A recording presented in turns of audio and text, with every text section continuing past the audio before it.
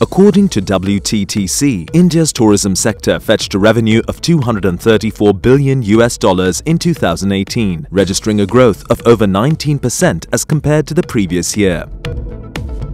Malaysia registered a growth of 7.5% from India in 2018. Malaysia in 2017 we received about 25.9 million tourist arrival from all over and India has becoming uh, one of our top uh, 10 nationalities who visit Malaysia. And uh, unofficial number from uh, 2018 uh, up uh, about 7.5% from 2017 we have about 594,098 Indian who visit Malaysia I think they, they came uh, mainly for our shopping destination, theme parks, uh, honeymooners and uh, also weddings.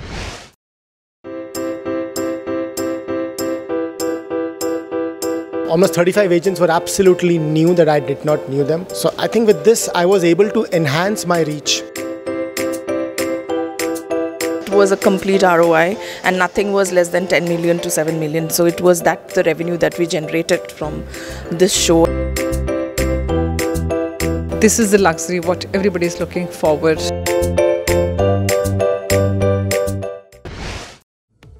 Australia India Travel and Tourism Council signs an MOU with Northeast India Tour Operators Association to open India's northeast frontier for Australians.